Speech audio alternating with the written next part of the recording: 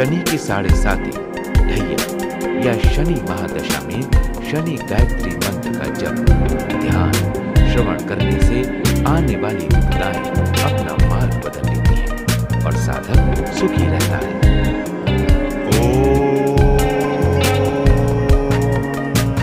भगभवाय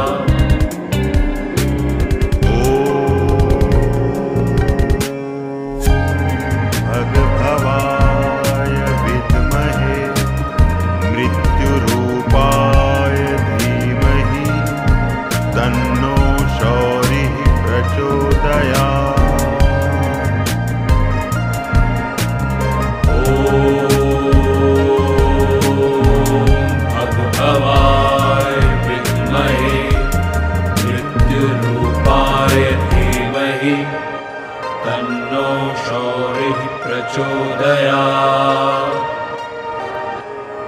ॐ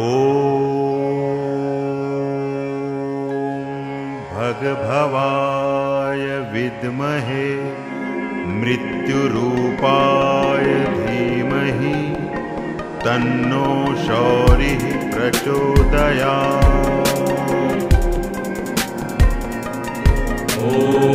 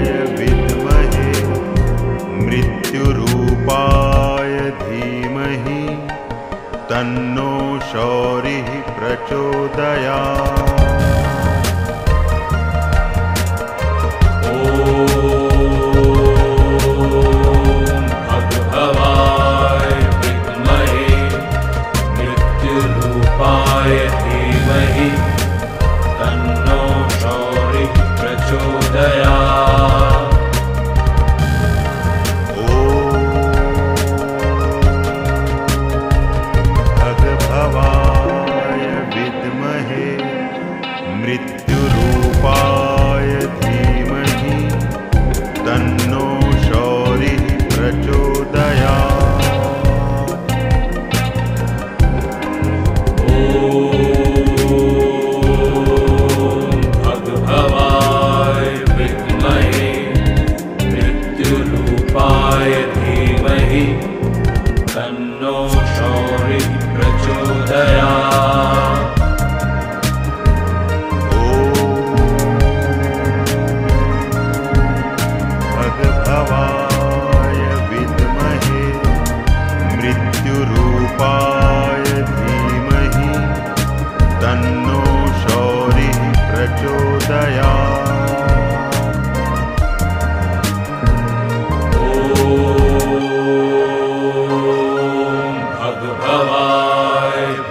विद्महे मृत्युरूपाय धीमहि तन्नो शौरिः प्रचोदयात्